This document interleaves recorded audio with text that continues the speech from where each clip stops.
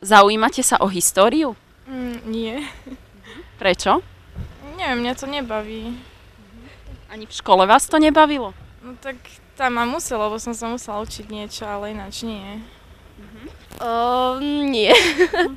Prečo? Veľmi, tak neviem. Nebaví ma to. Bol dejepis.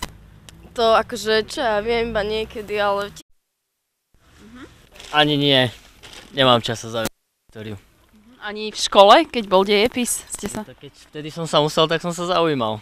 Teraz už nie. Zaujímate sa o históriu? Vo všeobecnosti. Tak neviem, aj áno, aj nie. Nejakú svetovú, slovenskú a tak. No skôr Slovensku ako svetovú. Aj pozerávate nejaké dokumentárne filmy alebo čítate knihy? No sledujem veľmi dokumentárne filmy. Knihy nečítam. Aj v škole vás to tak zaujímalo, či až potom? No skôr potom, v škole ani tak nie. Zaujímate sa o históriu? No ani čo ja viem. Ani nie veľmi. Sem tam, no keď tiež len takto z novinách správach, alebo takéto, keď je čo nejaké dokumenty také, ale nejako veľmi. Ani v škole vás to nebavilo, dejepis? Á, tak no, niekedy, hej, niekedy, ako čo. No trocha. A o akú konkrétne? A tak celkové tie staré časy boli také zaujímavejšie, aspoň z tých romanov to vyplýva. Čiže o slovenskú alebo svetovú históriu? Ale celkové. Celkové. Však vždycky dejiny boli um, takým dejiskom niečoho. A ja si myslím, že na to by sa nemalo zabúdať. A čítate nejaké knihy teda, alebo dokumentárne? Ja áno. Ja áno, ja mám rada romány staré. Aj v škole ste sa zaujímali o to, keď bol dejepis? No tak to samozrejme, to sme museli, aj keď sme nechceli.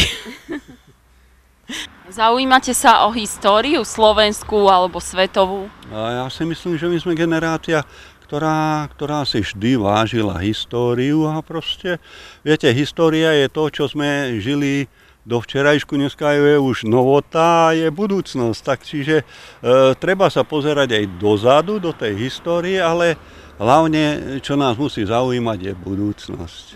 Pretože z histórie nevyžijeme. Vy- Vyžijeme z budúcnosti. A pozerávate nejaké dokumentárne filmy alebo čítate knihy o takej dávnejšej histórii? Samozrejme, že hej, samozrejme.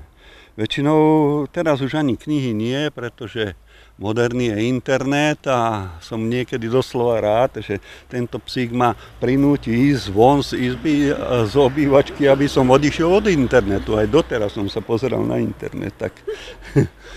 čiže, čiže pozrite sa, sme dôchodci, ale zaujímajú nás aj história, aj budúcnosť, aj žijeme s technikou. A snažíme sa držať krok.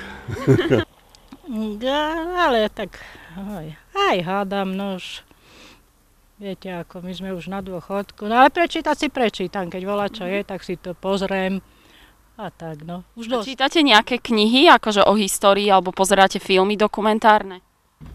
Hm, tak to asi nie veľmi, nie. Nemám čas, lebo keď aj, no už teraz sa dá, lebo záhradku máme a tak, no ale keď je dobrý, tak si pozriem. A ani v škole vás dejiny nejako nezaujímali na dejepise? Ale áno, áno, len už je to veľa rokov, no ale tak je to dobré, keď to človek volá, čo vie o tom a prečíta si. Tak, Zaujímate sa o históriu vo všeobecnosti? Zaujímam, ale odkážte pána historikovi, aby si dokonale zmapoval situáciu a prehodnotil podstatu, ako vznikla, akými etapami Žarnovica prešla, pretože preskočiť z povedzme dediny na mesto je trošku zaražajúce a vôbec nikde nikto nespomína o to, aké boli zlé prostriedky, kým sa zabezpečí, aby sa Žarnovica stala mestom. A aj o slovenskú históriu a svetovú sa No zaujímate? tak to je pochopiteľná vec, bez toho to nejde. Mhm.